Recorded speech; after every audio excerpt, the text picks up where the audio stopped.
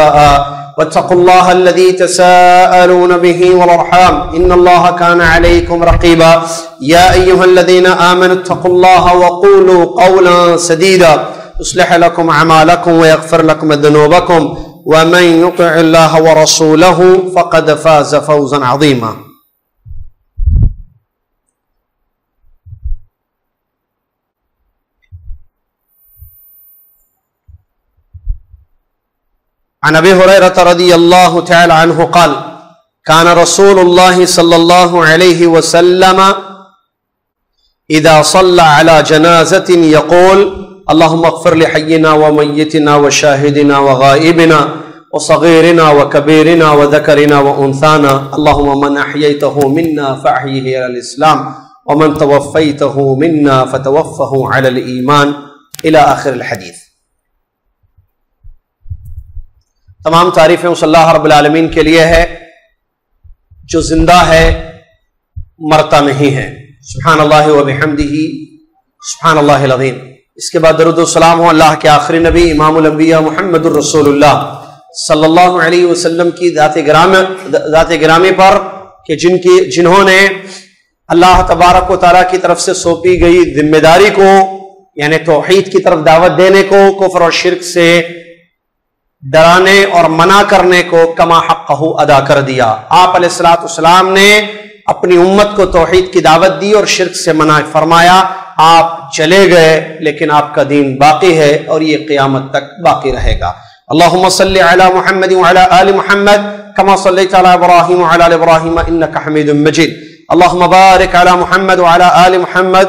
बारक इब्राहिम इब्राहिम, इन्नका हमीदुम मजीद। हमद सलाद के बाद आज 19 रमदान मुबारक 1436 हिजरी चल रही है। अल्लाह तबारक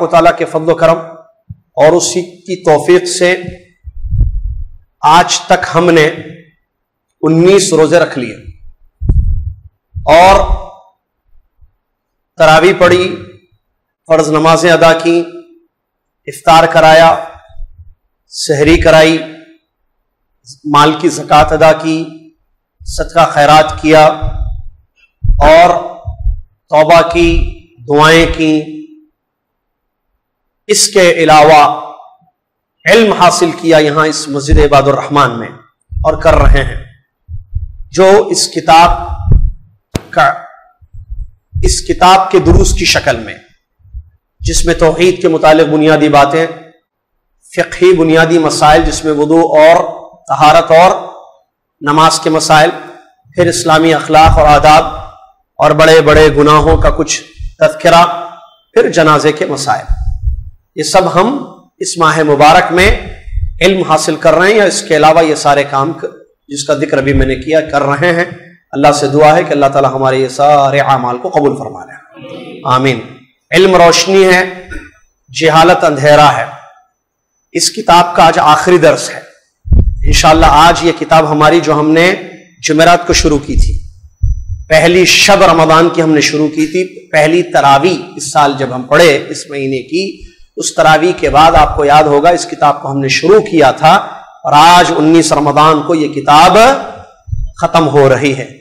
और यकीनन मुझे पूरा भरोसा है, पूरी तो है कि आप लोगों को जितनी बातें अब तक बताई गई हैं, वो आपके जहन नशीन है इंशाला और मुझे यह भी उम्मीद है कि आप लोगों ने बहुत ज़्यादा इस किताब से फ़ायदा उठाया होगा। अल्लाह ताला शेख बिन बाज रहमत को जजाय खैर अता फरमाए जिन्होंने ये किताब लिखी और उसके बाद जिम्मेदारान मस्जिद जिन्होंने इस किताब को मुकर किया पढ़ाने के लिए और मौका दिया आने वालों के लिए सुनने वालों के लिए सहूलियात की और सारी बातें जो है आ, आ, हुई हैं इसमें अल्हम्दुलिल्लाह। तो अल्लाह ताला जिम्मेदारों को या तमाम उन इखवान या अखवात को जिन्होंने इस प्रोग्राम को कामयाब बनाने में भरपूर कुछ किसी ना किसी किस्म का हिस्सा लिया, अल्लाह ताला उनको जजाय खैर अता फरमाए। मेरे मोहतरम शागिर्दों, इसमें कोई शक नहीं है, इल्म नूर है, इल्म रोशनी है। आपने देखा होगा मुझे, पिछले साल हमने इसी मस्जिद में एक किताब पढ़ाई थी, और वो थी उसूल सलासा। इस्लाम के बुनियादी तीन उसूल, याद होगा, तकरीबन आधा रमज़ान हम पढ़े थे पिछले साल। और इस साल हमने ये दूसरी किताब पढ़ी तो इससे आपको फ़ायदा ज़रूर हुआ होगा। और यकीनन होता है, यकीनन इल्म से फ़ायदा होता है और यकीनन इल्म से फ़ायदा होता नहीं, इल्म ही से फ़ायदा होता है। और जिहालत से कभी फ़ायदा नहीं होता है। इसीलिए जिहालत को दूर करना, इल्म की तड़प को बाकी रखना। यह नहीं कि किताब खत्म तो इल्म का जज्बा खत्म। रमज़ान खत्म तो इल्म की प्यास भी खत्म। नहीं, इल्म की प्यास को हमेशा बाकी रखिए। एक बात मेरी मैं नसीहत के तौर पर मैं आपको बता रहा हूँ। कबल इसके कि मैं सवालत करूँ और आखिरी दर्स आपको दूँ। एक नसीहत के तौर पर याद रखिए, ज़िंदगी में हमेशा हमें इल्म की ज़रूरत है। बल्कि सलफ ने एक बड़ी प्यारी बात बयान फरमाई है इस सिलसिले में। क्या? अल्लाह इबन कईम रहमत वगैरह के। आदमी को खाना पानी से ज़्यादा इल्म की ज़रूरत है। आदमी को, इंसान को खाने पीने से ज़्यादा इल्म की ज़रूरत है। वो क्यों भाई? खाने पीने की तो बहुत ज़्यादा। खाने पीने के लिए इंसान पैसा कमाता है। सही है? खाने पीने के लिए इंसान पैसा कमाता है और उस पैसे के लिए क्या कुछ करता है? मालूम है आपको। हलाल और हराम की तमीज नहीं करता क्योंकि उसको मालूम है पैसे से खाना आता है। पैसे से पानी। खाना पीना ज़िंदगी खा, खाएगा नहीं पिएगा नहीं तो ज़िंदगी खत्म हो जाएगी। यानी ज़िंदगी गुजारने के लिए खाना पीना ज़रूरी है और खाना पीना पैसों से आता है। तो पैसे कमाने के लिए अपने वतन को छोड़ता है, अपनी अज़ीज़ वकारिब को छोड़ता है, हा? बीवी बच्चों को छोड़कर जाता है। बहुत सारी कुर्बानी देता है इंसान पैसा कमाने के लिए। और अल्लाह तोफीक दे, अल्लाह हिदायत दे उन लोगों को जो इस पैसे को कमाने के लिए, इस पैसे को हासिल करने के लिए हराम काम भी करते हैं। पैसे के खातिर। हर किस्म का हराम काम करने को तैयार हो। किसी को मारो, मार डालेगा वो। झूठ बोलो, झूठ बोलेगा। चोरी करो, चोरी करेगा। डकैती करो, डकैती करेगा। इल्ज़ाम लगाओ, इल्ज़ाम लगाएगा। कुछ भी करेगा, ये चंद रुपए कमाने के लिए। यह है इंसान के पास पैसे। बहरहाल, खाने पीने की इंसान की ज़िंदगी में कितनी अहमियत है, ये तो मालूम है आपको। भूख लगती है तो मालूम होता ना, खाना ना मिले तो। खाने की अहमियत। इंसान नहीं खाएगा, नहीं पिएगा तो मर जाएगा। तो इल्म की अहमियत खाने पीने से, बल्कि सांस से भी ज़्यादा। और मानेगा ये जो सांस जिसकी ज़रूरत होती है, सांस ज़रूरी होता है। अगर बंद हो जाए किसी कमरे में, जहाँ सांस नहीं तो आदमी मर जाता है। सांस खाना पीने से ज़्यादा इल्म का मोहताज है। यह सलफ का कौल है। क्यों? खाएगा नहीं, पिएगा नहीं, सांस बंद हो जाएगी तो क्या होगा? मर जाएगा। मरना तो वैसे भी है। ये नहीं कह रहा हूँ कि मत खाइए, मत पिए। खाना बंद, पानी बंद, सांस बंद, क्या होगा? मरेगा। इल्म नहीं हासिल करेगा तो जहन में जाएगा। वो कैसे? इल्म नहीं हासिल करेगा तो सही अकीदा, गलत अकीदा नहीं मालूम। सही तरी, सही मनहज, गलत मनहज नहीं मालूम। सही अमल, गलत अमल नहीं मालूम। गलत अकीदा अपना लेगा, गलत मनहज अपना लेगा, गलत अमल करता रहेगा, मर जाएगा, जहन्नम में जाएगा जहन्नम में हमेशा जलेगा, नहीं जलेगा? जहन्नम में जलेगा हमेशा। तो इसीलिए इल्म की ज़्यादा ज़रूरत है। क्योंकि खाना पीना बंद तो मौत आ जाएगी, बस मर जाएगा। समझ में आ रहा ना? लेकिन इल्म ना हो जहालत हो तो अपनी जहालत की वजह से वो जहन्नम में जा सकता है। और जब जहन्नम में जा सकता है तो फिर जहन्नम मौत से ज़्यादा खतरनाक चीज़ है। मौत बड़ी कि जहन्नम बड़ी? मौत जनाजे के मसाइल पढ़ रहे हैं। मौत खतरनाक या जहन्नम खतरनाक? जहन्नम भाई। मौत के सामने, जहन्नम के सामने मौत का इसीलिए इल्म हासिल कीजिए। उलमा की सोहबत में इल्म की प्यास। लोग बोलना, हैदराबाद के बच्चे भाई। ऐसे बोलना लोग, क्या बोलना? हैदराबाद के बच्चे इनमें इल्म की प्यास, इल्म।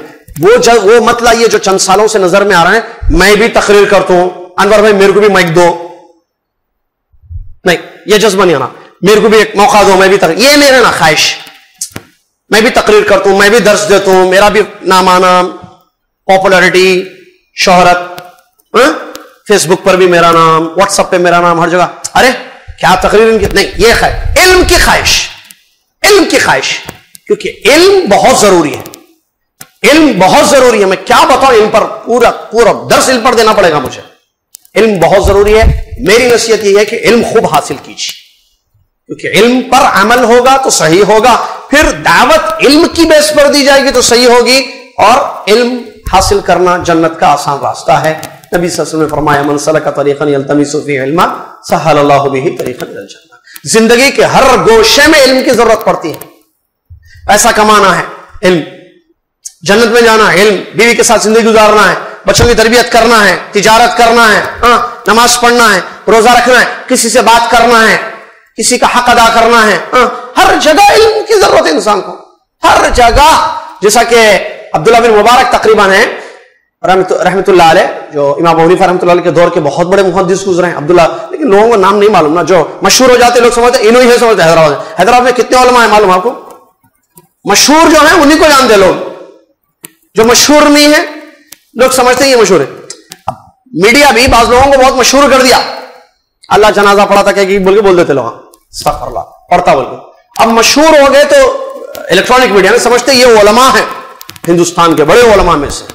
इसने कहा ठीक है? एक खैर अलग मौजूद तो बोलने का मतलब मेरा यह है कि हमेशा अब्दुल्ला बिन मुबारक रहमतुल्लाह के बारे में कहा, आप कब तक इल्म हासिल करेंगे? इतने बड़े मुहदस बन गए, इतने बड़े फकीर बन गए तो उन्होंने क्या कहा? इल्म की ज़रूरत इंसान को गोद से कबर तक, यानी बचपन से लेकर मरने तक इल्म की ज़रूरत पड़ती है इंसान। मरने तक। इसीलिए अल्लाह ताला ने क्या फरमाया, वकुर रब्बी जिदनी।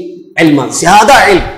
माल ज़्यादा, औलाद ज़्यादा, दुनिया ज़्यादा नहीं जिदनी इल्म। इल्म की बहुत ज़रूरत है। हर दौर में हमेशा ज़रूरत पड़ेगी। लिहाजा आप इल्म हासिल करते रहिए। अहले इल्म मौजूद है शहर में, अल्हम्दुलिल्लाह। ठीक है? चाहे वो मदनी ओलमा हो, या मक्की ओलमा हो, या मदीना मक्का के अलावा दूसरे जामियात से फारिग हो, अहले इल्म मौजूद हैं। उनकी पहचान होती है, उनको पहचानना, उनसे रबता कायम करना, उनकी कदर करना, उनके इल्म से हम मुस्तफीद होना।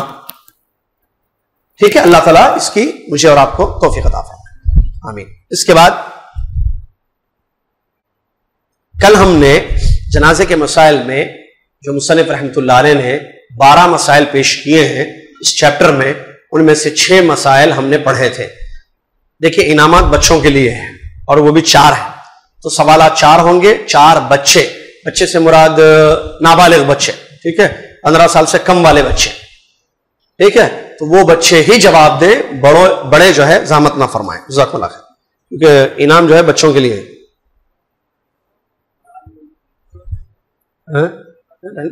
बड़ों को बाद में। बड़े बहुत ले लेना हमारे। बाद में। इतने का फाराम है अच्छा तो पहला सवाल मेरा यह है कि मैयत को तलकीन कराना यह शरीयत का हुक्म है।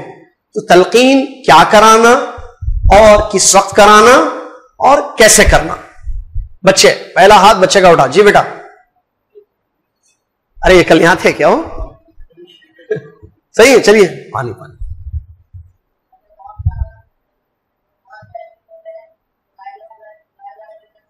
शाबाश, मौत का यकीन हो जाए तो क्या करना उसको?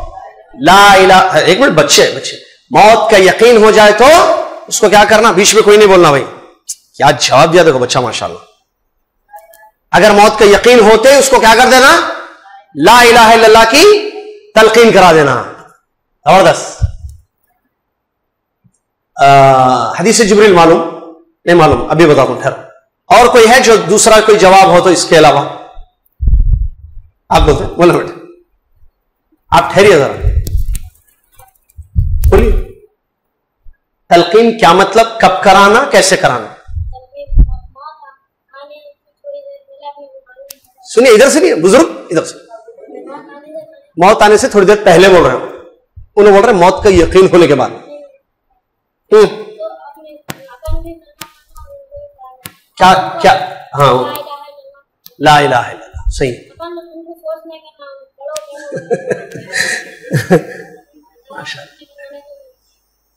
क्या नाम है? अब्दुल अज़ीज़ भाई भी क्या बोल रहे हैं मालूम मौत का वक्त करीब है, नहीं, उसको तलकीन कराना। आप बोल रहे हैं मौत का यकीन होने के बाद। यानी आपका यह अकीदा है कि मुर्दा आपकी तलकीन सुनेगा।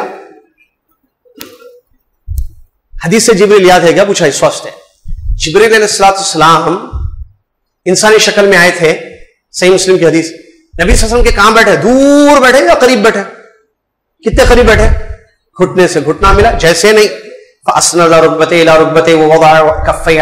ही हदीस में क्या है जिब्रेल करीब आए ठीक है साहबा बैठे हुए थे उमर बिन खत्म उनका वाक्य घुटने से घुटना मिलाया नबी वसल्लम के घुटने से अपना घुटना मिलाया और नबी वसल्लम के मुबारक रानों पर अपने हथेलियों इसकी तफसीर में ने लिखा तालब इल्म उस्ताद के करीब रहना आप यहाँ थे कल जो आवाज़ सही दे रहे थे वहाँ बैठ गया मौत का यकीन बोल दिए अब वहीं ठहरो इन्होंने कोई इनाम ले रहे नहीं थैंक यू नहीं जजाकल्ला चलेगा अंग्रेजा दूसरा सवाल। अरे हाथ पहले उठा दे रहे मुझे। मर्द को और औरत को कफन पहनाएँगे। मर्द को कितने कपड़े औरत को कितने कपड़े? खत्म। मर्द को इतने और हाथ हाथ। उठी गया बेचारा। बोल दो भाई आप पीछे शाबाश, आ जाओ। जहीम बच्चा मुझे सुफियान इन्हों बोले, आप लोग नाम बोलो बोल के। आप बोले बेटे नाम। फिदा और रहमान चलिए।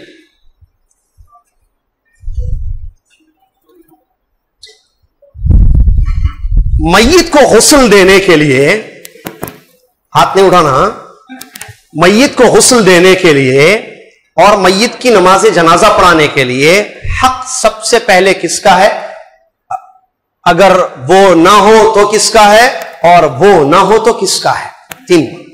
नहीं, इनाम लिए नहीं बोलना बेटा, खत्म। उठिए। सबसे पहले किसका हक है?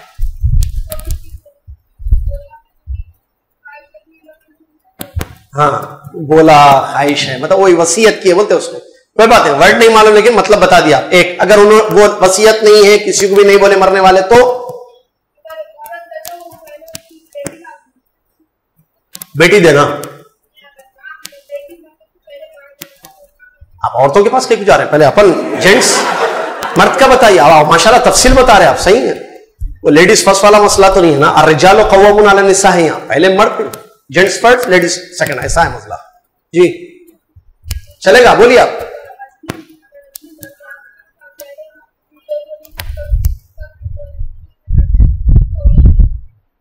अगर वसीयत नहीं है तो कौन देना गुसल बेटा देना गुसल बेटा नहीं है तो? ठहरो। जी। नहीं, हाथ छोड़ो नहीं हाथ आ क्या? स्कूल में बनते क्या ऐसा? टीचर। गुड मॉर्निंग सर नहीं, हाथ बनना नहीं है ठहरिए खाली। एहतराम कीजिए, लेकिन इस तरीके से नहीं।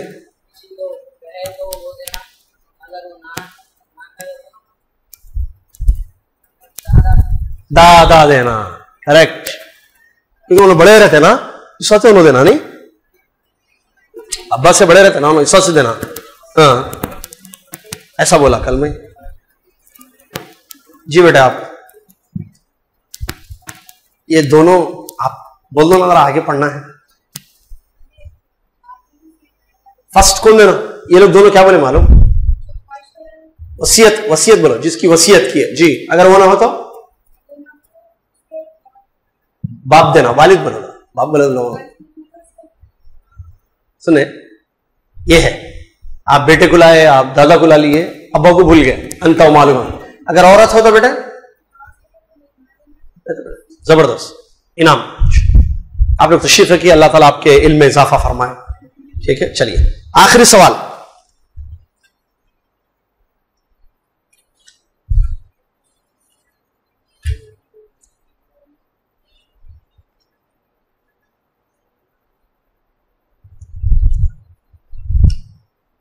मैयत का यकीन अगर हो जाए तो उसको क्या करेंगे और क्या नहीं करेंगे? सवाल समझिए पहले। मैयत का यकीन अगर हो जाए तो उसको क्या करेंगे? एक, और, यानी दो सवाल में एक सवाल करें। मैयत, अगर यकीन होगा कि इंसान की मौत वाकई हो जाए तो सुन्नत क्या है कि उसको क्या करना? एक, और, नंबर दो, कौन सी ऐसी मैयत है जिसका गौसल नहीं दिया जाएगा? जी बेटे, आप ही पहले उठे। बोले दो चीज़ें। अगर यकीन होगा कि इंसान की मौत होगी तो क्या? और गुस्ल किसका नहीं देना? जो शहीद हो गए, उनका गुस्ल देना। जजाकल्ला खैर। आइए। बहुत अच्छे ये चार जवाब है। बहुत अच्छे। बिस्मिल्लाह। सिलसिला जारी है। सातवां मसला मुसनफ रहमत फरमाते हैं सिफत सिफतुसलात नमाज़ जनाजे का तरीका। नमाज़ जनाजा, नमाज़ जनाजा। कैसे पढ़ेंगे नमाज़ जनाजा? इसका तरीका। फरमाते हैं मुसनफ रहमत युकबिर अरबा चार मरतबा तकबीरत कही कही जाएगी। तकबीर मतलब अल्लाह अकबर मुल्ला ठीक है? चार मरतबा अल्लाह अकबर बोलेंगे। और सूर्य फातिहा के बाद, ये सना नहीं पढ़ेंगे। अल्लाह अकबर बोलने के बाद तना जो है ना अल्लाह बाइद बहनी या सुबह अल्लाह जो दुआएँ हैं ना सूर्य फातिहा से पहले जो पढ़ी जाती है, वो नहीं पढ़ेंगे हम। वो नहीं पढ़ेंगे, बल्कि क्या पढ़ेंगे? सूर्य फातिहा पढ़ेंगे और उसके साथ अगर अकेले हैं या इमाम है तो। उसके साथ जो है कोई छोटी सी सूरा या एक या दो आयतें या कुछ आयतें पढ़ेंगे। जैसा कि अब्दुल्ला बिन अब्बास रदी अल्लाह तुमा की हदीस से यह बात साबित है। हदीस क्या है? Abdul, Talha bin Abdullah ibn Auf रदी अल्लाह फरमाते हैं कि मैं अब्दुल्ला बिन अब्बास रदी अल्लाह तुमा के पीछे एक नमाज़ जनाजा में शरीक था। अब्दुल्ला बिन अब्बास रज़ी अल्लाह के पीछे। तो उन्होंने सुर फातिहा पढ़ी और एक सूरा पढ़ी और जहर किया। यहाँ तक कि हमने उसको सुना, यानी बुलंद आवाज़ से पढ़ा। और जब फारिग हो गए तो मैंने उनसे उनका हाथ पकड़ा। तलहा कहते हैं रदी अल्लाह मैंने अब्दुल्ला बिन अब्बास उनका हाथ पकड़ा और उनसे पूछा कि क्या माजरा है ये जो आपने किया? इस तरीके से। ठीक है सुर फातिहा पढ़ी, फिर एक सूरा पढ़ा और जहर भी किया आपने। तो अब्दुल्ला बिन अब्बास रदी अल्लाह फरमाया इन नमा जहर तू तलमो अन्ना सुन्नतु हक। मैंने बुलंद आवाज़ से इसलिए नमाज़ पढ़ी, करात की, ताकि तुम लोगों को पता चल जाए कि ये सुन्नत है और ये साबित है। ये सुन्नत है और ये सच है। इस हदीस को इमाम बुखारी ने, इमाम अबूदाऊद इमाम नसाई रदी अल्लाह रही ने रिवायत किया। रही ने रिवायत किया। जी हाँ। इससे मालूम हुआ कि सूर्य फातिहा के बाद जो है वम सोरा या कुछ आयतें कुरान मजीद की पढ़ी जाएँगी। और इससे यह भी मालूम हुआ कि बुलंद आवाज़ से भी पढ़ना सही है, गलत नहीं है। सिर्री, जहरी दोनों। जो नमाज़ जनाज में खरात होगी, सिर्री, जहरी दोनों होगी। तो पहली मरतबा अल्लाह अकबर पढ़ते हुए क्या कहेंगे? सूर्य फातिहा। इमाम, और कोई सूरा या कुछ आयतें? मुक्तदी क्या करेंगे? सिर्फ़ सूर्य फातिहा पढ़ेंगे। उसके बाद फिर दूसरी मरतबा अल्लाह अकबर कहा जाएगा, जिसमें तशहुद में, नमाज़ की तशहुद में जो दुरूद पढ़ा जाता है, दुरूद इब्राहिमी जिसको कहते हैं अल्लाह मोहम्मद वो दुरूद पढ़ा जाएगा। तो हो गए तकबीरत। तुम युकबिर सालिसा, फिर तीसरी मरतबा तकबीर कही जाएगी और नमाज़ जनाजा की दुआ पढ़ी जाएगी, जो मैयत के लिए दुआ दी जाती है। अल्लाह मकफिर लिहयना व मैतना व शाहिदिना व गायबिना व सगीरना व कबीरना। बड़ी अच्छी दुआ है। वद करीना व उनसाना। अल्लाह, हमारे जिंदों को माफ़ कर दे, हमारे मुर्दों को माफ़ कर दे, हमें या जो हाजिर हैं उनको माफ़ कर दे, जो गायब हैं उनको माफ़ कर दे, हमें जो छोटे हैं उनको माफ़ कर दे, हमें जो बड़े हैं उनको माफ़ कर दे, हमारे मर्दों को माफ़ कर दे, हमारी औरतों को माफ़ कर दे। अल्लाह मन मिन्ना इस्लाम। अल्लाह, हमें से जो जिसको जिसको तूने ज़िंदा रखा या तू जिसको ज़िंदा रखता है, उसको इस्लाम पर ज़िंदा रखे। वला तमुतुन इल्ला व अंतुम। कुरान में है ना, मरते दम तक इस्लाम पर रहना। शुरू में मुसलमान, उसके बाद छोड़ दिया रमज़ान में पाबंद, उसके बाद छोड़ दिया। ऐसे नहीं रहना। हमेशा इस्लाम पर कायम रहना। रमज़ान में इस्लाम पर अमल किए, रमज़ान के बाद इस्लाम को छोड़ दिया इस्लाम पर अमल को, जैसे नमाजें वगैरह है, ठीक है? वमन ईमान। और हम में से जिसकी मौत हो जाए, या जिसको तू मौत दे दे अल्लाह, उनको किस पर मौत दे? ईमान पर मौत दे ये बड़ी प्यारी दुआ है, जो अल्लाह इसके अलावा और भी लंबी दुआएँ। अल्लाह मगफिर लहु वरहमहु वआफिहि वअफ़ अन्हु। वकरिम नुज़ुलहु वस्सिअ मदखलहु वग़सिलहु बिलमाइ वत्थल्जि वलबर्द अल्लाहुम्मा नक्किहि मिनल खताया कमा युनक्का अथ-थौबुल अबयद मिनद दनस अल्लाहुम्मा अब्दिलहु दारन खैरन मिन अहलन खैरन मिन अहली ज़ौजन खैरन मिन ज़ौजी। अल्लाहुम्मा अदखिलहुल जन्नह वअईदहु मिन अज़ाबिल क़ब्र मिन अज़ाबिन नार। पूरी दुआ है, बड़ी प्यारी दुआ है, जिसका तर्जुमा बहुत अच्छा है, जिसमें मगफिरत अल्लाह ताला इसको माफ़ कर दे, अल्लाह आफियत से रख, गुनाहों को माफ़ कर दे और इसकी अच्छी मेहमान नवाजी कर और कब्र को कुशादा कर दे और पानी और बर्फ़ और इससे, इसके गुनाहों को धो दे। ठीक है? अल्लाह ताला ऐसे गुनाहों से पाक कर दे मैत को, जैसे जो है सफ़ेद कपड़े से जो है, मैल को साफ़ कर दिया जाता है। और जो घर, ये मैत का, दुनिया में घर था ना, इससे अच्छा घर अता फरमा। जन्नत में इससे अच्छा घर अता फरमा। और जो घर वाले थे दुनिया में, इससे अच्छे घर वाले अता फरमा। और खबर के अजाब से महफूज रख, जहन्नम के अजाब से भी महफूज रख। ये दुआ है, ठीक है? और बाज रिवायत में अल्लाह अल्लाह, इनके अजर से मैत के अजर से हमको महरूम न कर, और इनके बाद हमको गुमराह न कर। ये भी जो है, नबी सलाम ने दुआ पढ़ी है, ठीक है? ये सब हदीसों से साबित है। कितनी तकबीरें हो गई? तीन। पहले में क्या किए? सूर्य फातिहा। नंबर दो दुरुद इब्राहिम, नंबर तीन। दुआ, जिसको याद है याद जिसको याद नहीं है, वो याद कर लेना। जिसको याद नहीं है, वो क्या करना? खामोश करना। ज़ाहिर जिहालत। जहालत में खामोश बैठता इल्म वाले बात करते। याद करना इसलिए। जिनको याद नहीं है, खामोश बैठना। याद कर लेना दूसरी बात। तो मैं फिर चौथी मरतबा तकबीर कही जाएगी। अल्लाह अकबर। ठीक है? हाथ कहाँ तक उठाएँगे? हदीसों में जो आया है, कान तक, कान की लोल की, इसको कहते हैं या शोल्डर तक। ठीक है? या शोल्डर के बराबर, हाथ उठाएँगे। तो चौथी तकबीर के बाद सिर्फ़ सलाम फेरा जाएगा। एक मरतबा सलाम फेरेंगे। या अगर इमाम दो मरतबा फेरते हैं तो आप भी दो मरतबा फेरेंगे। सलाम के कई तरीके हैं। अस्सलाम वालेकुम रहमतुल्लाह, जैसे हरमैन में आपने देखा होगा। अस्सलाम वालेकुम रहमतुल्लाह। अस्सलाम वालेकुम रहमतुल्लाह, अस्सलाम वालेकुम रहमतुल्लाह। ये भी सलाम का तरीका है। अस्सलाम वालेकुम रहमतुल्लाह व बरकातुहू। अस्सलाम वालेकुम रहमतुल्लाह ये भी तरीका है। कई तरीके हैं सलाम के। हमारा मसला क्या है बताओ मैं तीन रकात भी तक चल रही नहीं, चल रही अक्सर मस्जिदों में, हैदराबाद में। तीन रकात भी तक तीन तीन, पूरा रमज़ान तीन, हर साल तीन। लेकिन अलहमदुल्ला मस्जिद इबाद रहमान में हमने देखा यहाँ, एक भी पढ़े, तीन भी पढ़े। एक सलाम से भी पढ़े, दो सलाम से भी पढ़े। हदीस में सब एक ही चीज़ को तो हमारे पास क्या है? दो सलाम फेरने का मतलब क्या समझते हैं? या बाद जो है, जैसे जुमा की नमाज़ में भी जुमा की फजर में भी नबी वसल्लम की सुन्नत है ईदैन की नमाजों में सुन्नत है। तो हर जुमा को वही पढ़ना, फजर में नहीं, कभी बदलना भी इमाम। ये भी है, ये भी है। तो इस पर भी अमल करो, इस पर एक चीज़ पर कंटिन्यू अगर अमल किया जाएगा तो लोग क्या समझते मालूम है? ये छह सुन्नत। कभी बदल के देखो आप, लोग मसले कर अरे, आप कैसा पढ़ाया आज एक रकात की ये नहीं पढ़ना। आज दो सलाम से कैसा पढ़ा दिया? हमेशा हर साल जो है, हम बचपन से यही देख रहे हैं। ये क्या इसको तकलीदी जहन बोलते हैं क्या बोलते हैं? जामिद जहन, ये आ जाता लोगों में। जबकि जहन क्या होना चाहिए? इत्तेबा। क्या? इत्तेबा। किस चीज़ की इत्तेबा? सुन्नत की इत्तेबा। जो सुन्नत में है, वो हम करेंगे। हम किसकी दलील की इत्तेबा करते हैं अल्लाह ने क्या फरमाया?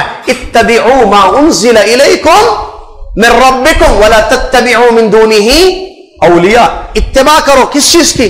जो हमेशा करते हैं, उस चीज़ की जो अक्सर शहर में जो कर रहे हैं लोग, उस चीज़ की हर साल जैसा करते हैं मस्जिद में, उस चीज़ की इतबा किस चीज़ की करना? माँ उनसिला इलेकुम मेरे रब्बिकुम। तुम्हारे रब की जानब से जो चीज़ नाजिल कर दी गई है, उस चीज़ की इतबा करो। जो नाजिल कर दी गई है, नबी सुनने में भीतर एक भी है, तीन भी है, और दो सलाम से भी है, एक सलाम से भी। ज़्यादा रिवायतें दो सलाम से। दो सलाम पढ़िए, फिर उठिए, फिर एक रकत पढ़िए। कभी कभी कभी ऐसा भी कीजिए कि एक सलाम से पढ़िए।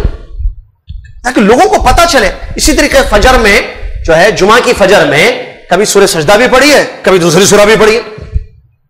या जुमा की नमाज़ में भी कभी सूर्य गाशिया पढ़ी है सूर्य आला पढ़ी है, कभी कुछ और सूरतें, कुछ आयतें भी पढ़ी है। ताकि लोगों को पता चले कि भाई, यही करना ज़रूरी नहीं है हमेशा। ये भी सुन्नत है, ये भी सुन्नत है। उसी तरीके से जो सलाम फेरने का तरीका है ना, जनाजे में, एक भी है, दो भी है। और अस्सलाम वालेकुम वरहमतुल्लाह भी एक तरफ़, अस्सलाम वालेकुम वरहमतुल्लाह ये भी है। अमल इसमें भी करना। अब अस्सलाम वालेकुम वरहमतुल्लाह कभी किसी नमाज़ में सुने हैं? किसी किसी मस्जिद नहीं। पढ़ना। आज करो कोई मसला नहीं अमल इधर में करो। जो पढ़ा हाँ, है भाई वबरकातु अब लोग बोलते अरे वबरकातु पढ़ लिया बोल के लोगों को समझा अरे इमाम साहब गलती करे पकड़ के सुबह अल्लाह सुबह अल्लाह भी बोल सकते लोग पीछे। आप खामोश होकर कंटिन्यू करना नमाज़। उसके बाद उनको बुलाना। उन्होंने बोलते भाई आज अस्सलाम वालेकुम के आगे बरकातु बोल दिया आप गलती से। उसको बुलाना मैं गलती से नहीं बोला अभी क्या अब्दुल्ला बिन अब्बास की हदीस पढ़े ना? ज़ोर से उन्होंने जहर से नमाज़ पढ़ाई। कौन सी नमाज़ जनाजा। तो क्या नाम पड़ा था अभी?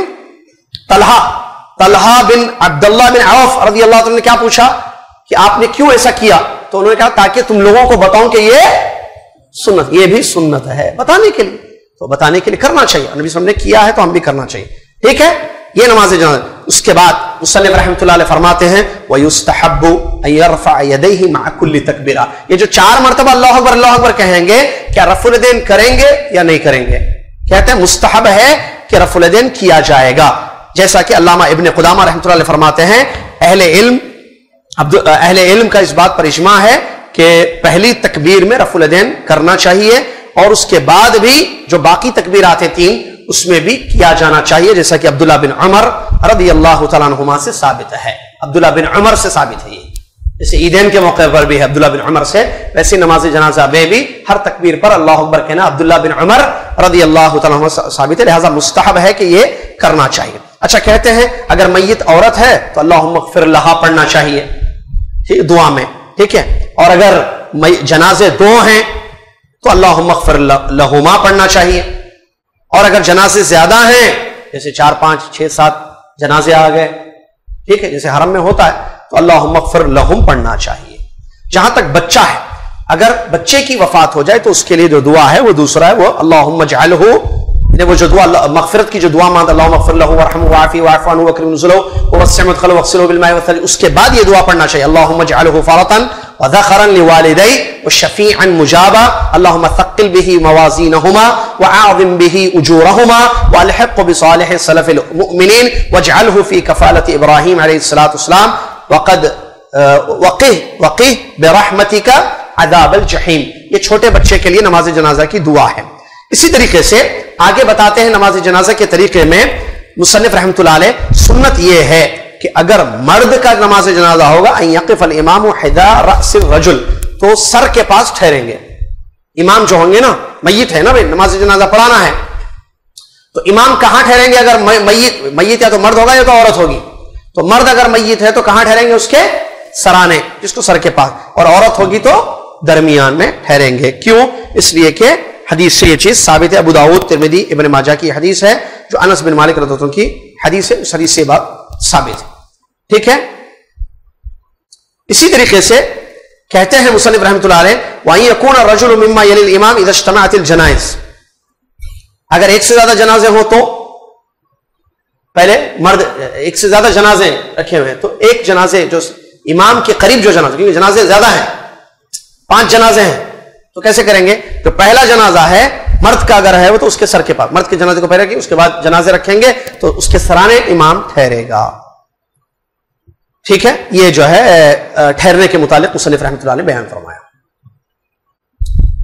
इसी तरीके से बच्चों के भी जमा जनाजे अगर ज़्यादा हो तो इसी सूरत में उनको भी वैसे ही ठहराया जाएगा। ये ये जो है नमाज़ जनाजा का तरीका मुसनफ रहमत ने बयान फरमाया। उसके बाद आठवां मसला बयान फरमाते हैं सिफतु दफनिल मैत मैत को दफन करने का तरीका।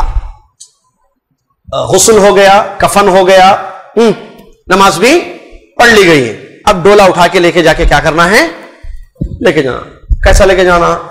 अच्छा वो भी मसले। मसले बहुत है इसमें। इतनी बिदता निकाल दिया लोग हाँ क्या करना? बिद्दत पे पूरा मसले बताना पड़ता। कैसे? आगे आगे नहीं चलना मैं पीछे आओ पीछे आओ। तकबीरात बोलते क्या बोलते जाओ? बचपन में सुनता था मैं। अच्छा हुआ, इल्मा से गया स्कूल स्कूल चले कहा जाता था कि डॉक्टर डॉक्टर? बचपन में ख्वाहिश थी, एमबीबीएस डॉक्टर बनने की।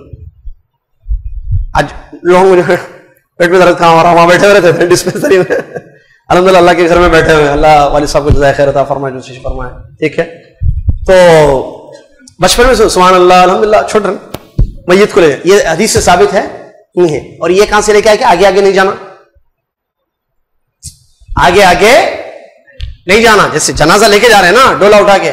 अच्छा डोले पे कपड़ा भी, वो भी उस पर भी आयता अमता लिखे हुए रहते कलमे उलमे लिखे हुए रहते, फूला भी डालते लोग बस फूल किसके लिए रहता भाई? क्या क्या बोलना भाई? फूल इंसान, भाई अब जाते ना, आप बाज़ार को फूल की दुकान पे जाइए, किसके वास्ते खरीदते बीवी, अम्मा, बेटी, बहन, भांजी, भतीजी। सही है ना फूल जीनत किसके लिए है? ये और बात है कि हिंदुस्तान के दूल्हों ने भी शुरू कर दिया है, कुछ सालों से। कुछ बोले तो बहुत बचपन से देख रहे दूल्हा भी पहनता, मैं भी। तो वहाँ दुकान के पास जाकर फूल दो बोला उसको बोला किसके वास्ते? उसको पूछना, आप फूल बेचते किसके वास्ते बेचते भाई, आप या तो आपकी वाइफ को लेके जा रहे होंगे, बहन को लेके जा रहे होंगे, बेटी को लेके जा नहीं, मैं मेरे दोस्त के वास्ते लेके जा रहा हूँ, बोलना अरे, ये बोल रहा था। उल्टा उल्टा हो गया ना। छोटी किसका है? छोटी किसकी निशानी है? औरत की। आज बच्चे छोटी कर रहे हैं। बालियाँ किसकी निशानी है? औरत की। बच्चे बालियाँ पहन रहे पैंट शर्ट कौन पहनते हैं? ये जो लड़के हैं ना, लड़कियाँ पहन रहे उल्टा उल्टा होगा। घर में किस, किसका फैसला चलना? शोहर या बीवी? बीवी का चल रहा। सब उल्टा होगा सिस्टम पूरा। ये वायर यहाँ लगाना, यहाँ लगा दिया।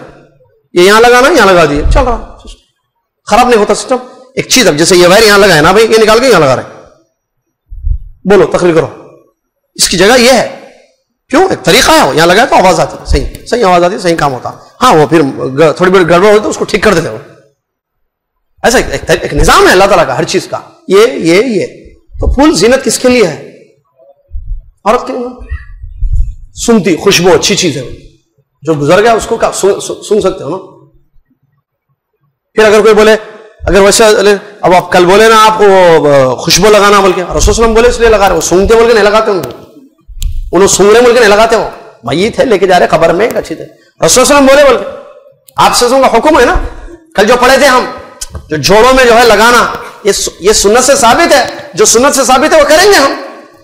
करेंगे, बराबर करेंगे उसको। चलिए। अलमशरो तमीकुल कबर इला वसत रजुल। खबर जहाँ तक खोदना खबर खोदना भी सीख जाना। ठीक है ज़रूरत नहीं पड़ा, इंशाल्लाह सब बच्चे भी खोद सकते हैं खबर इंशाल्लाह। डरना भी नहीं। ठीक है? खबर खोदने का जो है तो जो मशरू है, शेख बिन बाज रहमत फरमाते हैं कि यहाँ तक आदमी जो है ना आदमी के वसत तक, यानी दरमियान तक जो है खबर खोदनी चाहिए। खबर जो खोदेंगे ना, उसको अच्छा गहरा खोदेंगे कहाँ तक? यहाँ तक। उसके बाद जो है, किबले की तरफ़ जो है खुदाई होगी, जिसको लहद कहते हैं, और मैयत को जो है उसमें रखा जाएगा। ये कबर खोदने के दो तरीके होते हैं। एक जो है लहद कहते हैं। ऐसे खोद के फिर जो किबला साइड होता है ना, वहाँ भी जो है मट्टी को निकालना। निकाल के जो वो बताया वीडियो में आएगी ये चीज़ जो बताएँगे हम आपको नेक्स्ट वीक इंशाल्लाह। तो उसको जो है निकाला जाएगा, ठीक है? तो वहाँ उसको मैयत को क्या करना? रखना उसमें। एक होता है शिक, जिसको सीधा, सिर्फ़ गड़ा खोदिए पूरा। राइट गड़े के अंदर राइट या लेफ़्ट में कोई चीज़ खोदी नहीं जा रही है। तो अफजल क्या है? ज़्यादा सही क्या है? लहद। क्या है? लहद। यानी मालूम होगा ना, देखे होंगे, करते हैं लोग अमल, माशाल्लाह, सुन्नत पर। माशाल्लाह हदीस करते हैं यहाँ पर अमल यहाँ पर, माशाल्लाह। खबर को खोद के किबले की तरफ़ जो है, क्योंकि मैयत को वहाँ रखना है तो उस तरफ़ और भी खोदी जाती है, अंदर के साइड खबर के अंदर के साइड ठीक है? वही है। और वहाँ जो है, मैयत के दायने तरफ़ मैयत, ये लेफ़्ट साइड ये राइट साइड राइट साइड मैयत को जो है, वहाँ रखा जाएगा। इसी तरीके से जो कफन है तो उसकी जो जड़ है कफन की, उसको खोला जाएगा, पूरा कफन नहीं खोलेंगे। फरमाते हैं और इसी तरीके से मैयत का चेहरा भी नहीं खोला जाएगा, चाहे मर्द हो या औरत। चेहरा नहीं खोलना कहते कबर में। खोलते ना लोग। देख लो भाई, देख लो भाई, देखने वाले भाई। आखिरी देदार देख लो भाई। एक और एक भी काम करते मस्जिद में भी दिखाते देख लो भाई देख लो भाई बोल के। तो वहाँ देखते रो लेते थोड़ा। आओ भाई जो जो नहीं देखे रिश्तेदार आओ देख लो। ये कहाँ से लेके आए? बहुत सारे मसा देखिए भाई हम मुसलमान हैं भाई। जज्बात अपनी जगह भाई। हम हमारे भी अज़ीज़ वकारिब की मौत हुई है। हमें भी तकलीफ़ हुई है। लेकिन हम जो है वो काम नहीं करेंगे जो सुन्नत के खिलाफ जो सुन्नत में है वही। ये जो चेहरा दिखाना बोल के नहीं क्या क्या हरकतें हैं भाई। बीवी अगर मर जाए तो माफ़ कर दो भी बोलते ऐसा हाथ रखना कहते बीवी के ऊपर शौर मर गई, खत्म। मारा, सताया, जुल्म करा, खाया, फल सताया, ज़िंदगी भर। मरने के बाद कहते हाथ रख के माफ़ कर दो, बेगम बोलना कहते ज़िंदगी भर माफ़ कर दिया उन्हें। अगर उस मैयता के हाथ में होता बोलती, अगर अगर उसको बोलना होता, वो बोली, कभी नहीं। हरगिज नहीं। पच्चीस साल सताए तुम। तरह तरह के दे। मेहर दोबल शुरू में शादी कर लिए, मेहर नहीं दिए जहेज लिए। मेहर दोबल के इस्लाम में है जहेज लेना इस्लाम में नहीं है, तुम जहेज लिए, मेहर नहीं दिए। उसके बाद जो है, हक अदा करो करोगे तो हक लिए, हक दिए नहीं। है नहीं? खिलाओ बोले तो खाए, खिलाए नहीं। पिलाओ बोले तो पिए, पिलाए नहीं। इज़्ज़त करो बोले तो इज़्ज़त अपने लिए मुझसे, लेकिन मेरी इज़्ज़त कभी नहीं करे। बीवियों पर कैसे कैसे जुल्म होता है? क्योंकि मर्द के दिमाग में क्या है? सोने का निवारा, खिलाना, वो पुराने लोग बोल के जाए। पुराने लोग खतरनाक वर्ड्स बोल के गए। कभी अमल नहीं करना उस पर सोने का निवाला खिला के किससे देखना कहते हैं? शेर की निगाह से देखना कहते हैं। क्या है? ये इस्लाम में है, शेर की निगाह से देखना। बीवी है, क्या है वो? उन्हें शेर जो है, वो जानवर को खाने के लिए देखता। वो उसके जानवरों के मसले हैं वो। हमला जानवर है। इंसान है। बीवी की कदर, इज़्ज़त, एहतराम है। अपनी अपनी माँ बाप को छोड़कर, अपनी बीवी, अपने बहनों को छोड़कर, अपने भाइयों को छोड़कर, अपने मोहल्ले को छोड़कर, अपनी सहेलियों को, अपना सब कुछ छोड़ के आपके साथ ज़िंदगी गुजारने आ गए कैसा रखना उसको? फूल के जैसा रखना। फूल के जैसा रखना उसको। तकलीफ़ नहीं होना भाई? कैसा तकलीफ़ देना तो तकलीफ़ देना हराम है। फिर ये कहाँ से लेकर आए? अगर तकलीफ़ दिए ज़िंदगी में, माफ़ी मांगो बीवी से। और बीवी से मैं हो, मांगना। ये कॉन्सेप्ट क्या है लड़कों का? काम करने वाली घर की उन्हें। वो तो यहूदा में है भाई। हमारे एक दोस्त फ्रांस के हैं, अबू उमर अब्दुलसलाम भाई। फ्रांस के अलहमदुल्ला क्या बोलते रिवर्ट हुए? क्या बोलते रिवर्ट हुए। तो उनका जुमला है कि वेस्ट में औरत को यूज़ की चीज़ समझा जाता है। एडवांस कंट्रीज़ वहाँ कहते हैं, उन्होंने खुद बोला। क्या? यूज़ की चीज़ है बस इस्तेमाल। हम मुसलमान हैं, हम इस्तेमाल की चीज़ समझते हैं औरत को, बीवी को। बीवी है हन लिबासुल्लकुम लिबासुल्लहन वो तुम्हारा कपड़ा है, तुम उनका कपड़ा। हो नबी वसल्लम की बैठो बैठो। नबी सल्लल्लाहु अलैहि वसल्लम की आखिरी हदीस, मरदुल मौत से पहले जो आखिरी हदीस हैं, उनमें से हदीस यह है कि तुम अपनी बीवियों के साथ अच्छा सुलूक करो, अल्लाह का नाम लेकर तुमने उनको हलाल किया है। इत्तकुल्लाह अल्लाह से डरो, नबी ने फरमाया बीवियों के मामले में। अल्लाह से डरो बीवियों के मामले लिहाजा ये हरकत जो की जाती है ना, ये सही नहीं है, और जो चेहरा दिखाने का भी मसला रहता ना, चाहे मर्द हो या औरत, नहीं भाई, जिसको देखना है पहले देख लेंगे। ये दिखाना एक रिवाज बन चुका है, मालूम है आपको? तरीका, दिखाओ दिखाओ भाई। अरे, ज़िंदगी भर बेचारा जो है बिस्तर पे था, पूछ के नहीं देखे उसको। मरे तो रिश्तेदार आके देख रहे थे जरा गौर कीजिए, इसको क्या बोलू मैं बताइए। अरे, किसी के वालिद हैं, किसी के वालदा हैं, किसी के, पूछ के नहीं देखे ज़िंदगी भर। मैं बोला ना, हकूकुल वाले टॉपिक रखो पूरे हैदराबाद के बच्चों को बच्चों को बिठाओ। माइक दो मेरे को, दो तीन घंटे, जो बोलना है बोलो, ये बिस्किटा है, ये पानी है, खाओ, पियो, बोलो। वो बोल दो बोलो, बच्चों को बिठाओ। मुझे मौका दे दो बस। पूरे शहर के बच्चों को बिठाओ। उस तो भी मैदान में। परमिशन उर्मिशन लेके। टॉपिक क्या है? माँ बाप का हक। बोलो। जो बोलना बोलो। दो तीन घंटे जितना कैपेसिटी है, बोलो। जितना दम है, बोलो। कुरान हदीस के रोशनी। मैं बोलता हूँ। इंशाल्लाह बोलता हूँ। रखना है तो रखिए। ठीक है? जी। बहुत अहम है। ज़िंदगी भर तकलीफ़ देते माँ बाप अरे, मैं अभी क्या बताया मैं कल? माँ बाप के हकूक में क्या है? भाई, नाम लेकर, उनके आदाब में यह भी है कि आप नाम लेकर ना पुकारें उनको। लोग जो है माँ बाप पर इल्ज़ाम लगा देते हैं, लोग जो है माँ बाप को जख्म पहुंचाते तकलीफ़ पहुंचाते ज़िंदगी भर। औलाद और दूसरे रिश्तेदार, अब जब मैत हो गए, आखिरी दीदार देखने आए। अरे जब देखना था, जब नहीं देखे, कब देखना था? जब वो बीमार था, जब वो जरूरतमंद था, जब उसको रिश्तेदारों को देखना था, मिलना था, उसका ख्याल नहीं किया उसके बीमारी में, अब जो वो फौत हो चुका है, आकर जो है आप दीदार करना चाहते जो सुन्नत की मुखालिफत है। सुन्नत नहीं है कि आप आखिरी दीदार करें कोई। सुन्नत यह है कि जब बीमार हो तो तीमारदारी कीजिए। मोहताज हो तो उसकी हाजत पूरी कीजिए। जरूरतमंद हो तो उसकी जरूरतें पूरी कीजिए। कितने माँ बाप ऐसे बिस्तरों पर पड़े हुए हैं हॉस्पिटल में पड़े हुए हैं, जिनको पूछने वाली औलाद नहीं है, रिश्तेदार नहीं है, रिश्तेदार अपनी ज़िंदगी में गुजार रहे हैं। अल्लाह से डरना है भाई। वहाँ अल्लाह का डर नहीं है, मरते वक्त आके अपनी रिश्तेदारी बता के जा रहे कि देखो मैं भी बेटा हूँ, मैं देख के जा रहा हूँ, मैं बेटी हूँ, मैं देख के जा रही हूँ। या जो है, मैं रिश्तेदार हूँ, मेरे भाई, मेरा भाई था, मेरे चाचा थे, मेरे नाना थे, मेरे मामू थे, पता नहीं क्या क्या आखिरी दीदार एक मरता देख के चनासू बहा के चले गए और समझ गए कि हमने रिश्तेदारी का हक अदा कर दिया। अल्लाह से डरो, अल्लाह हर चीज़ की पूछ करने वाला है। किसको दोगे मेरा करें अलीम खबीर? किसको धोखा दे रहे दुनिया वालों को दे रहे तो अलीम खबीर तो हर चीज़ को जानता है। अलीम खबीर तो हर चीज़ को जानता है। तो ये गलत है। चलिए। तुम उसके बाद कहते हैं, फिर उसको जो है, मिट्टी से, जो है, मिट्टी से या जो है कच्ची मिट्टी, पत्थर वगैरह से इस तरीके से चीज़ों से जो है, वो जो कबर है, उसको वो जो वो है, क्या कहते हैं उसको? जो लहद में अंदर जो जगह है, उसको पुर किया जाएगा, कहते हैं। ठीक है? पुर किया जाएगा। पत्थर हो, ताकि अगर पत्थर अवेलेबल नहीं है तो लकड़ी से, किसी भी तरीके से, इन चीज़ों से जो है, उसको वो किया जाएगा इस बात का ख्याल रखा जाए कि मैयत पर जो है, पत्थर न गिरे, या मैयत को जो है, पर मिट्टी ना गिरे। और इसी तरीके से यह भी मुस्तहब है, कहते हैं मुसनफ रहमत कि उस वक्त जब मैयत को कबर में रखा जा रहा है, बिस्मिल्लाह वाला मिल्लत रसूलुल्लाह, ये कहना भी मुस्तहब है, जैसा कि तिरमिदी और अबू दाऊद और इबन माजा की हदीस से साबित है। उसके बाद कहते हैं कि मिट्टी डालकर उसको जो है पूरा बंद कर दिया जाएगा कबर को, फुल, फिल कर दिया जाएगा। और कबर को कितना ऊँचा रखा जाएगा? तो उस सिलसिले में फरमाते हैं कबर कदर शिब्र एक बालिश कबर जो है, शिब्र, इसी को बोलते हैं ना एक बालिश कबर ऊँची की जाएगी। क्यों? क्योंकि हदीस जाबिर की हदीस से इबन हब्बान की रिवायत है, जिस हदीस से यह बात साबित है कि वरुफिया लबन नसबन वरुफिया कबर मिन अर्द नहव मिन शिब्र प्यारे नबी वसल्लम को जब लहद कबर में दाखिल किया गया था तो प्यारे नबी अलैहिस्सलाम की कबर मुबारक को ज़मीन से एक बालिश ऊँचा किया गया था। यह इब्न हब्बान की हदीस है। इब्न हब्बान की रिवायत है। तो यह सुन्नत रसूल है। ठीक है? और उसके ऊपर जो है, अगर आप मट्टी वगैरह रखते हैं, जैसे एक बालिश करते हैं हाँ पूरी मट्टी से जो है, उसको कुहान की शक्ल जो बनाते हैं, वो ठीक है।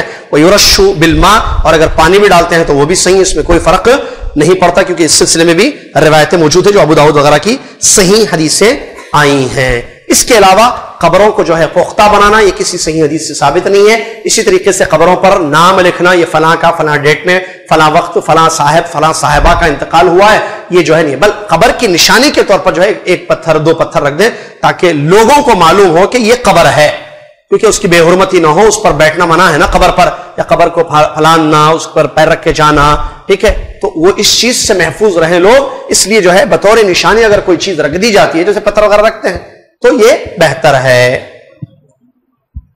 इसी तरीके से जो लोग कबर अब ये तो दफन दिए और एक बालिश ऊँची भी कर दिए अब इसको पुख्ता करना बाल लोग जो है अपनी कबर को जो है बना देते हैं ज़िंदगी में। मैं मरूँगा तो फलां जगह जो है आ, मेरी कबर हो यानी वो क्या बोलते उसको रिजर्वेशन यानी कबर का रिजर्वेशन होता है ज़िंदगी में बालों का। मैं मरूँगा तो मुझे इसी जगह पे नहीं। आदमी जो मरता है कोई भी हो बड़ा सा बड़ा आदमी हो उसको कहाँ दफनाना?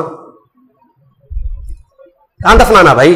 घर में कोई खास प्लेस पर कब्रस्तान में कब्रस्तान में।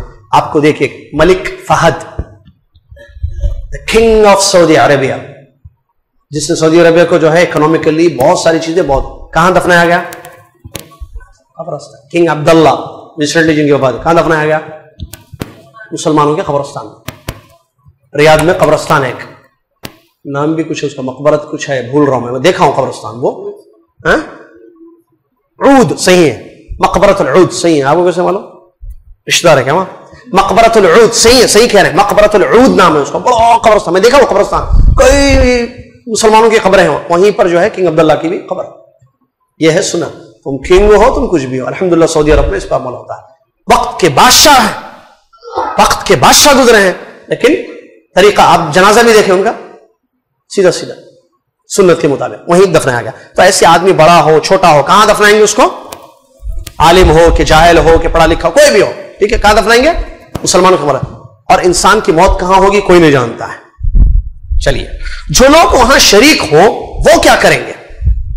उनके बारे में आता है कि वो तदफीन में साथ देंगे, जैसे मिट्टी डालना वगैरह जो है, इस पे साथ देंगे और मैयत के लिए वहाँ दुआ कर सकते हैं। साबित है। जैसे नबी अलैहिस्सलाम जब सहाबा मैयत जो होते थे गुजर जाते थे, सहाबा या शहीद होते थे तो उनकी तदफीन से फारिग होने के बाद नबी अलैहिस्सलाम वहाँ खड़े होते और आप ये फरमाते इस अपने भाई के लिए अल्लाह से बख्शिश की दुआ मांगो।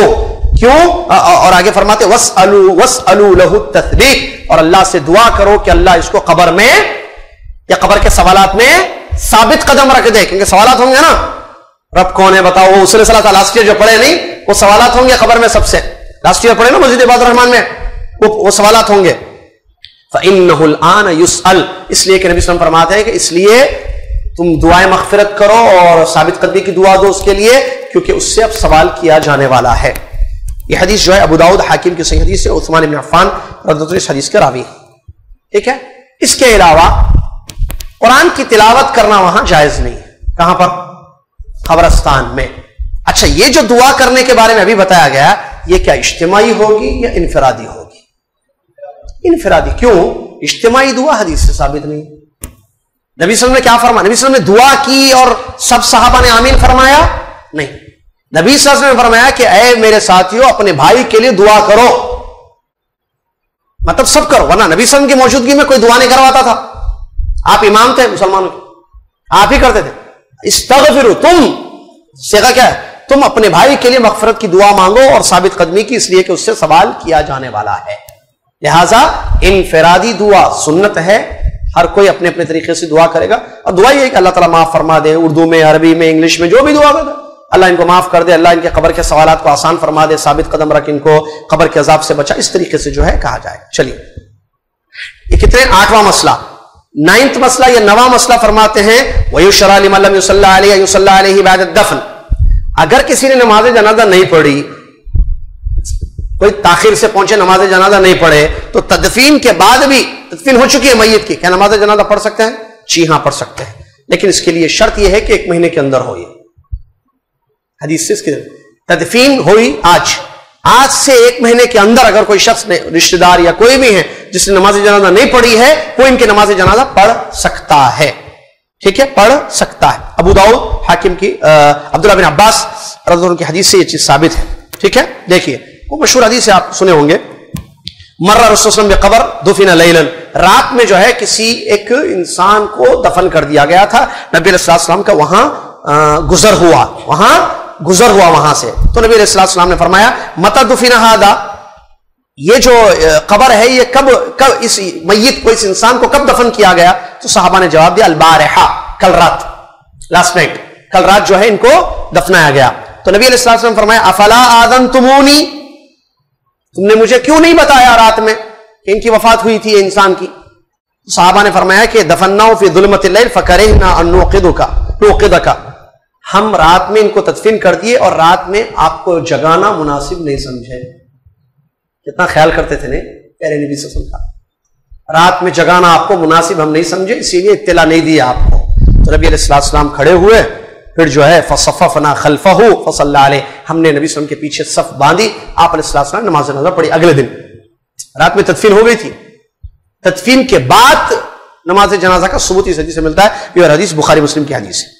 और एक रिवायत में क्या है कि वो एक और एक हदीस है, जिसमें यह है कि एक औरत जो मस्जिद की खिदमत करती थी, ये भी बुखारी मुस्लिम की हदीस है, एक औरत जो मस्जिद की खिदमत करती थी, उसकी जो है वफात हो गई तो तदफीन कर दिया गया और नबी वसल्लम को नहीं इतला दी गई, बाद में आपको पता चला तो आपने फरमाया, दुल्लूनी आला कब्र ही मुझे बताओ कि कब्र कहाँ है उसकी? और नबी वहाँ गए, आपने नमाज़ जनाजा अदा की, ये बुखारी मुस्लिम की हदीस है। ये एक महीने का जो हमने बताया ना, इसकी दलील उम्मे साद रज़ी की हदीस से साबित है, जब उनकी वफात हुई, नबी अलैहिस्सलाम मौजूद नहीं थे, आप गायब थे, फिर नबी अलैहिस्सलाम जब तशरीफ़ लाए तो आपने उम्मे साद रज़ी अल्लाह तला की नमाज़ जनाजा अदा की और इसको एक महीना हुआ था।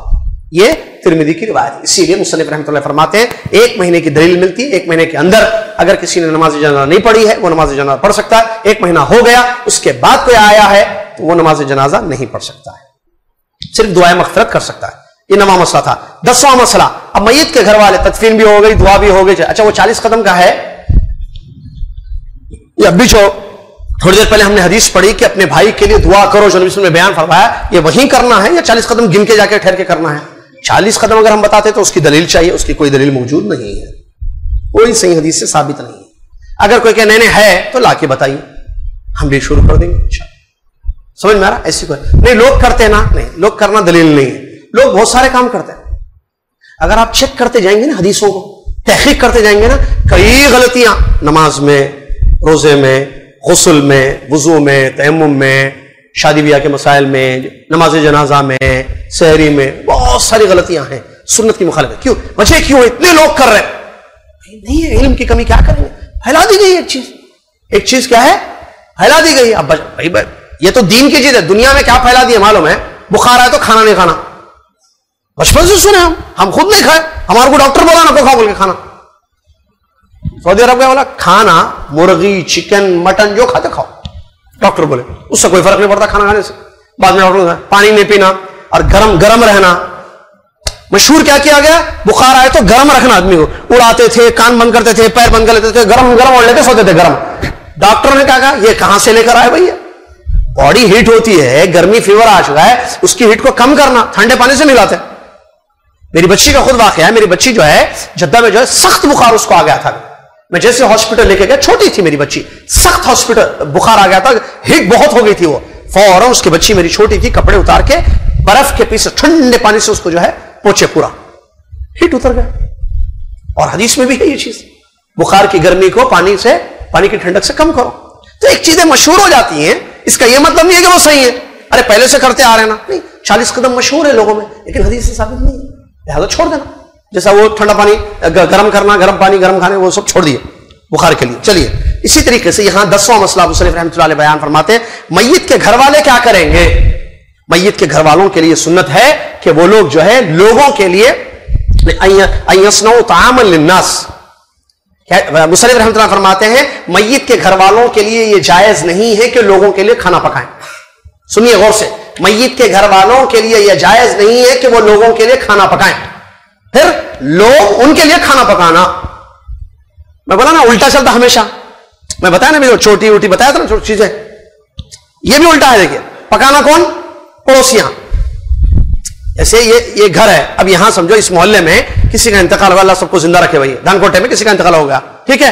तो यहाँ अतराफ के जो लोग हैं, वो लोग क्या करना? खाना ना। वो घर वाले पका, उनको टेंशन है, भाई। मैत है घर में। मौता हो चुकी है। वालिद की, वालदा की, पता नहीं किसकी। आदमी एक परेशानी में रहता है कि अज़ीज़ की वफात हो चुकी है। अब खाना बनाना, लोगों के वास्ते।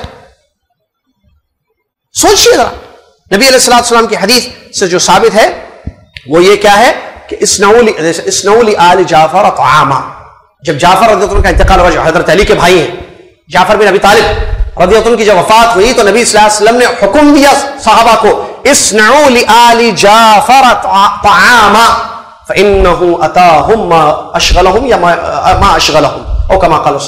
जाफ़र लोगो आले जाफ़र के लिए जाफ़र के घर वालों के लिए खाना बनाओ इसलिए कि उनके घर वालों के पास एक ऐसी खबर आई है एक ऐसी चीज़ आई है जिन्होंने जिस चीज़ ने उनको मसरूफ कर दिया है यानी वफात हुई है घर में यह हुक्म है कितना प्यारा इस्लाम है देखिए भाई उनको खाने का नहीं है हम खाना ला के आपको दे देंगे आप क्योंकि आदमी भाई मैत तो हो गई, जो जाना था चला गया, लेकिन आदमी को भूख भी लगती है, प्यास भी लगती है तो खाना पानी कौन करेंगे?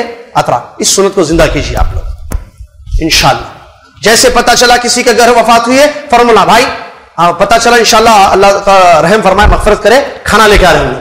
आप खाना मत बनाइए। और ये जो बनाने का सिस्टम है इसको रोकना। हम नहीं रोकेंगे तो सुन्नत कैसे ज़िंदा होगी भाई? अरे नहीं भाई, चलते आ रहा आप, कैसा भाई, बड़े लोगों का बड़े लोगों का गलत समझते छोटे लोगों का गलत समझते नहीं। अल्लाह रब्बुल आलमीन को नाराज़ नहीं करना। क्योंकि वह हदीस हमेशा याद रखना, अल्लाह की खुशी अगर हम अल्लाह को खुश करना चाहें, लोग नाखुश हो रहे हैं, नाराज़ हो रहे हैं। क्या करना? खुश करना नहीं करना अल्लाह को? करना। अल्लाह खुश होता, लोगों को भी खुश कर देता। लोगों के दिल किसके हाथ में है? अगर हम अल्लाह को नाराज़ करके पब्लिक को खुश करना चाह रहे एक अल्लाह को नाराज़ करके पूरी पब्लिक को खुश करना चाह रहे अल्लाह नाराज़ होता, पब्लिक को भी नाराज़ कर देता। हदीस का मफहूम है। याद रखिए अल्लाह हर चीज़ का मालिक है दिलों का मालिक है अल्लाह ताला। अल्लाह की हुकूमत दिलों पर भी चलती है इंसानों की। ठीक है? तो ये चीज़ है। और इसकी दलील बताया हदीस जरीर बिन अब्दुल्ला बजली जो बहुत मशहूर सहाबी गुजरे रज़ी अल्लाह तो उन, उन्होंने जो है उनकी हदीस जो मुस्लिम अहमद की रिवायत है उन्होंने बयान फरमाया सुनिए गौर से उन्होंने बयान फरमाया जरा सुन लीजिए हदीस हाँ जरीर बिन अब्दुल्ला अल बजली रदी अल्लाह की हदीस फरमाते हैं कि हम लोग मैत के घर में इज्तम करना। लोग जो है बैठे हुए हैं बार बार आ रहे हैं, जा रहे हैं बार बार यानी ज़्यादा बैठे हुए रहना और जो है खाना बनाना दफन के बाद इसको नौहा खानी में शुमार करते थे। इस हदीस को इमाम अहमद रहमत ने रिवायत किया है, हसन सनद है इसकी। खाना बनाने को क्या, किसमें शुमार किया जाता था? नौहा नौहा समझते हैं? मैत के लिए नौहा करना मना है ना चीख चीख के रोना। चीख चीख के आवाजों से रोना पुकार पुकार के आवाजों से रोना। मैत को उससे तकलीफ़ दी जाती है, तकलीफ़ होती है। नौहा खानी कहते हैं, ठीक है? जो जमाने जाहिलियत की चीज़ है यह चीज़ मना है इस्लाम में। तो नौहा में इसको भी शुमार किया जाता था कि मैत वाले लोगों के लिए खाना पकाए। कौन फरमाते हैं? जरीर बिन अब्दुल्ला बजली रदी फरमाते हैं। चलिए। बल्कि सुन्नत यह है जो अभी मैंने बयान किया, वो आल जाफ़र की हदीस पेश करें जो सही रिवायत है। चलिए। अलबत्ता यह हो सकता है कि पड़ोसियों को जो उनके लिए खाना दिया गया मैत के घर वालों के लिए तो खाना ज़्यादा है, समझिए। तो वो लोग खा लिए तो अपने पड़ोसियों को भी वो दे सकते हैं। समझिए, कैसे मिसाल दो? एक घर है, उस घर में मौत हुई है।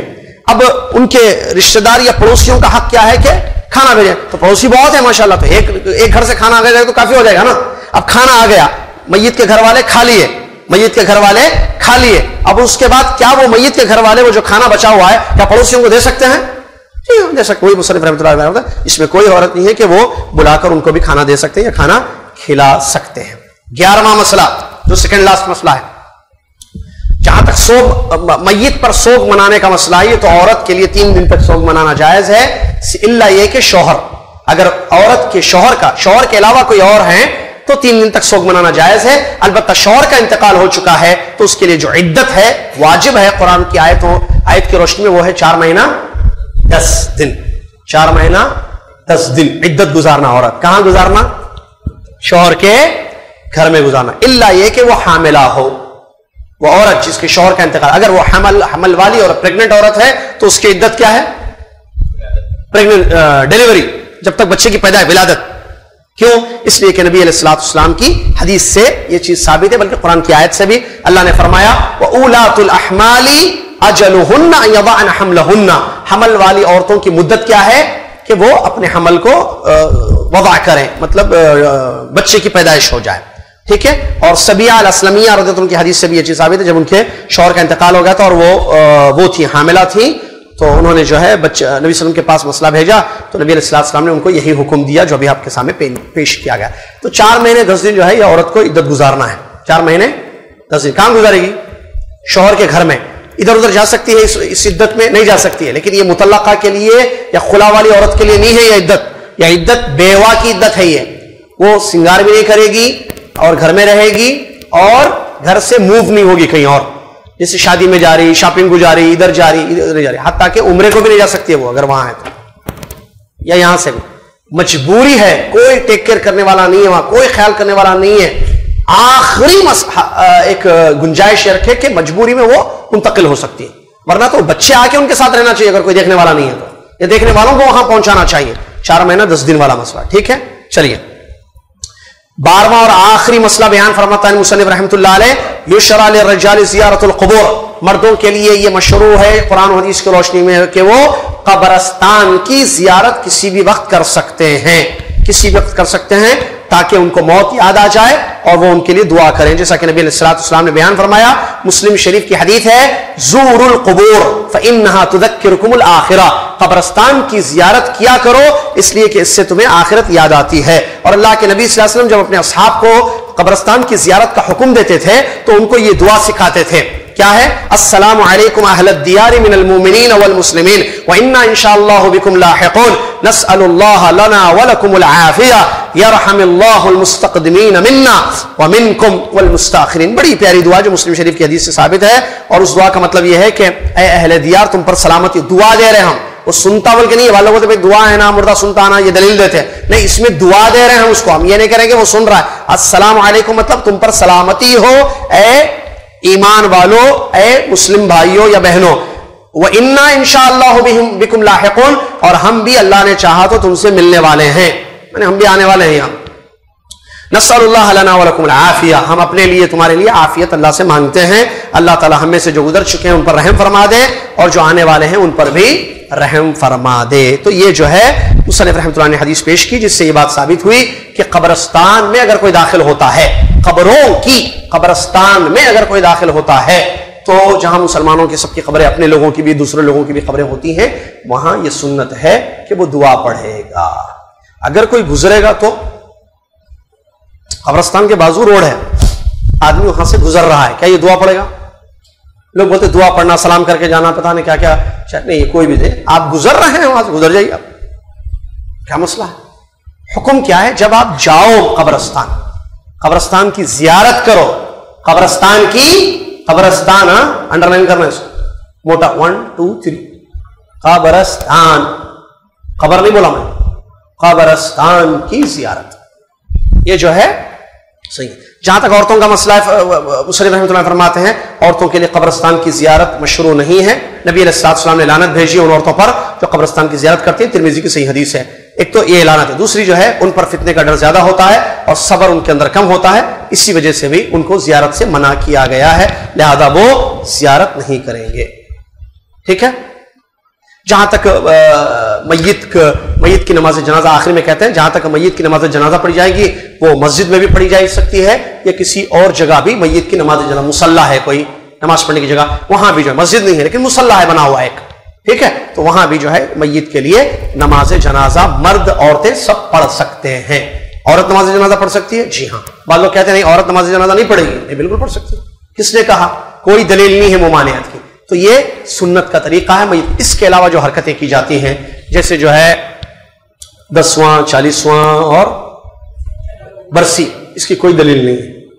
हाँ मैत को आप सवाब पहुँचाने का जो दरिया है, सबसे अच्छा दरिया क्या है? दुआ कीजिए आप।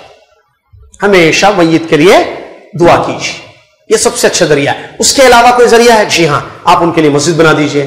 ठीक है? यतीम खाना बना दीजिए। उनके तरफ़ से हज कर सकते हैं। ठीक है? उम्र कर सकते हैं। तो कोई हर ये कार्य खैर के कोई भी काम आप काम करें बगैर तहदीद के। दस दिन के बाद ये कर रहे हैं चालीस दिन के बाद ये हरकत कर रहे हैं सा, साल हो गए ये चीज़ बना रहे हैं उनकी बरसी मना रहे वो ये, ये हरकतें सही नहीं है। इसके अलावा कोई की रात रहती जहाँ जो है वो मैत के पसंदीदा चीज़ें लिख जाके खबर के पास रखे आते लोग बस जगह। कौन सी शबे? शबे बारात में। शबे बारात में क्या करते हैं, वो उनको जो है खुरमा पसंद था तो खुरमा बना के ले जाके वहाँ रखते हैं। लड्डू पसंद था लड्डू ले जाके रखते हैं। ये भी हरकत सही नहीं है। इसके अलावा जितनी चीज़ें की जाती है और जो पुरसा वगैरह देने का भी जो तरीका है ना, वो यही है कि उसके लिए कोई शर्त नहीं है कि तीन दिन तक ही हो। चार दिन, पाँच दिन, छह दिन, सात दिन। इमाम बुखारी में बाकायदा बाब बांधा है इस पर। ठीक है? पुरसा देने के लिए ज़रूरी नहीं है कि दो, तीन दिन ही में खत्म हो जाए, तीन दिन तक। आप एक हफ़्ते के बाद भी जो है पुरसा दे सकते हैं मैत को। उसका तरीका क्या? जाएँगे द्वारा। और इसी तरीके से जो मैत का घर है जहाँ पर मैत होती है औरतें जमा होती हैं मैंने बताया था शायद वहाँ ज़ोर ज़ोर से रोती हैं ठीक है? तो ये मालूम होना चाहिए नौहा खानी चीख चीख के आवाजों से रोना ठीक है? अपने गिरेबान को पीटना मारते नहीं हेलो मर गया भाई चलेगा। मैं बता रहा हूँ अरे हसियारी में हाँ? समझाने के लिए बता रहा हूँ मैं ये, ये हरकत जमाने जाहिलियत की है। अपने गिरेबान को चाक करना मतलब फाड़ते से यूँ यूँ फाड़ लेते नहीं साड़ी खींच लेते, औरतें ये कर देते बच्चे बच्चे है, जज्बात में आके जो है बनियान शर्ट फाड़ा नहीं, अब्बा चले गए, मेरे अब्बा। ये हरकतें जमाने जा ठीक है भाई, तकलीफ़ है, तकलीफ़ सबको होती है मैत से, लेकिन ये हरकत नहीं करना चाहिए। इसी तरीके से जो है, दूसरी औरतें जो आती है ना, वो मैत के घर पे, आके बैठ के घंटों बैठते उन्होंने परेशान पहले, सर में दरा टेंशन, रो रो के, अम्मी का इंतकाल हो गया, अब्बा का इंतकाल, अब वहाँ एक एक घंटा, दो दो घंटा तीन तीन घंटा बैठे रहे। क्यों बैठे रहे? आए, सबर नहीं। परेशानी परेशानी परेशानी और बढ़ा रहे और रोते, बैठ के याद करते रहते उनकी चीज़ों को। कल मेरे पास आए थे, परसों में बोला था ये क्या है हरकतें, समझ में नहीं आता। अरे भाई, जिसके, जिनका, जिनके घर में मौता हुई, उनको तसली दीजिए आप। उनको बोलिए कि दुआ कीजिए, सब्र कीजिए, चले गए, हमको भी जाना है। ऐसे चंद अल्फाज बोलिए, आप चले जाइए, आप खत्म। खाना नहीं खाइए, खाना पहुंचाना है। ये तो इला के मेहमान वाला मसला है। मेहमानों की जियाफत एक मसला वो भी क्या बेहतर है कि पड़ोसी कर दे? जब खाना तो है, माशाल्लाह। तो ये चीज़ें जो है, जो सुन्नत है ना, हमेशा हम मुसलमान हैं। प्यारे नबी ने प्यारी प्यारी सुन्नतें हमको दी हैं। क्यों ना हो कि उन सुन्नतों पर अमल किया जाए?